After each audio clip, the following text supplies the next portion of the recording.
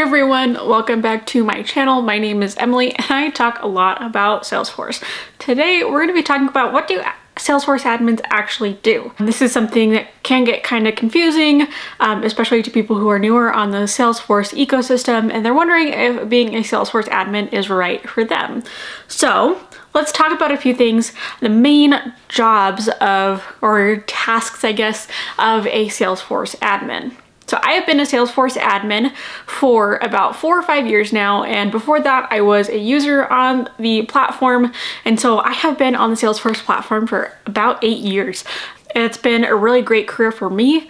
Um, and then transitioning from the user to the admin side of things was fairly easy for me because I did have that background knowledge of being a Salesforce user beforehand. But that kind of leads us into our first topic that I do want to talk about.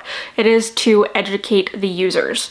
Um, Salesforce admin is should be working hands-on with the users to understand how to best use the database. This could be educating them on the different fields that they should use, best practices on filling out each of these fields, um, how to use the different automations in their day-to-day, -day, as well as just a general, I they haven't used Salesforce ever before. How do they do their day-to-day -day selling or servicing on the Salesforce platform? Let me take this example. At one of my jobs, a lot of the sales users hadn't used Salesforce before. So we would talk about how they were going to sell and their selling process and come up with a way together on the best ways to sell using Salesforce. So specifically what we would talk about is when they're on a call with a client, either on the leads object or on the opportunities object, what we would do is they would go into their notes and write down the notes, uh, the things mentioned in the things mentioned in the call, such as other stakeholders or how much they're looking to purchase or those kinds of things. Um, and then afterwards, after the call, when they were reviewing their notes, they would go in and take the things that were in the description box or in their notes and put it into the individual fields. This way it would save them time and it would save the company a lot of money because they had all their data and we could draw conclusions from the data that they input into Salesforce from their notes. All right, let's move on. And this is going to be setting up things like fields within Salesforce. So fields are just the little blurb boxes that have a specific type of data or information put into the database. So an example of this would be um, the amount field on the opportunity. That's a field. This could also mean putting together a formula field based upon how many users they wanted or how many people they wanted to sell to. It could calculate how much it was going to cost the client as well as how much we should be selling the product for based upon the amount of people that would be using it. Other things that aren't necessarily fields could be a whole new object. An object is just a fancy way of saying a group of data. Things like contracts or deals, uh, deals being opportunities, prospects being leads within Salesforce. One that's really common is projects. So let's say you wanted to house all of your projects and let's say you wanted to create a project management system within Salesforce, you'd be able to create a new object that was for projects and then put the individual fields in there as well. So that's another thing a Salesforce admin does. All right, the third thing is going to be creating automations. In the past, creating automations has been a lot of different tools, but really it's just being narrowed down into one specific tool, and that is, I guess, two specific tools, and those are flows and approval processes. Before, it was flows, approval processes, workflow rules, and process builders, but the process builders and workflow rules are being phased out. Um, flows and approval processes can do a lot of really awesome things. One thing I like to use as an example is a renewal opportunity.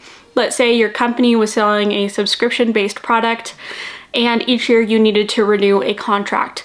You would be able to create a new opportunity using a flow to be put into the pipeline and onto the schedule for next year so then the person who's selling doesn't have to remember it.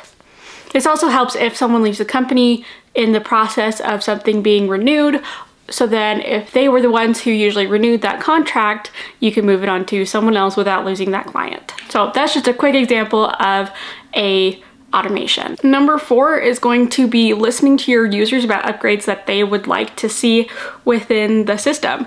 Uh, sometimes your users have some really good ideas about one thing that would make their life a lot easier. Um, this could be being able to send out a contract through Salesforce, or once um, an opportunity hit a certain stage, then the contract would be automatically sent out to the client through Salesforce to sign and send back. These are both really great things that users have come to me in the past about things that they want to see within the system they're working with every day to save them a lot of time and eventually the company a lot of money because they could be using the time that they're sending out the contract to sell more. All right, number five, this is something that can be automated, but um, doesn't necessarily need to. This is going to be creating users within the Salesforce system and creating all of their security permissions, making sure that they have access to the things that they need to have access to. If you're in a very large system, large company with a large database, then this is going to be something that's probably going to be automated. Um, but if you are in a mid-sized company, this could be something that you are doing every day, as well as resetting passwords, helping troubleshooting issues your users run into on a daily basis. Number six, this is going to be advising stakeholders on the different things relating to the database or to the system. So oftentimes I've been in on meetings where we are talking with the different stakeholders and leaders within the company about things that we can do to make the system better um, and advising them on how much time is this going to take. Is it worth the ROI? To spend this time and development resources on this automation or on this new tool if we could just have this be more of a manual process and how easy is it going to be to implement and train our users on how to use. That is another job of the Salesforce admin to help understand what kind of tools will it take to create the projects that the high level people in the company may want to create. So those are the top six that I could think of uh, things that a Salesforce admin would do on a day-to-day -day basis. Now there are other things that you may do like integrating different systems like integrating DocuSign with Salesforce or integrating maybe MailChimp with Salesforce or other different marketing tools like Outreach with Salesforce but these are the top six things that I have mainly see in my day-to-day -day career as a Salesforce admin. I hope that you found this video super helpful. If you did, be sure to like it, subscribe. Um, if you have any questions on other things that a Salesforce admin might do, be sure to leave them down below in the comments and I'll try to get back to you as soon as possible. Um, you can join the list, the email list at salesforceemily.com, connect with me wherever I'm at, Twitter, LinkedIn, and check out the courses down below. Thank you so, so much for watching the video to this point. Yeah, have a great day.